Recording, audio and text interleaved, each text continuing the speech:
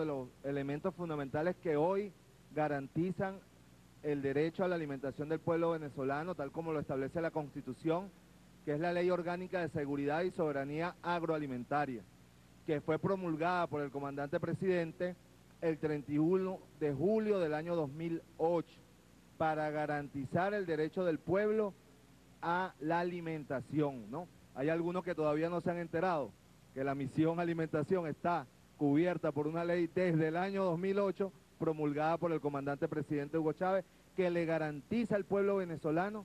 el derecho a la alimentación, pero además le da instrumentos al Estado venezolano para que nunca más vuelva a ocurrir lo que ocurrió en el año 2002, que las principales empresas monopólicas se pararon para chantajear al pueblo venezolano por hambre con graves consecuencias, como lo vamos a demostrar en unas gráficas más adelante, para la nutrición infantil, para la mortalidad infantil, para el empleo, para el abastecimiento del país. Esta ley hoy penaliza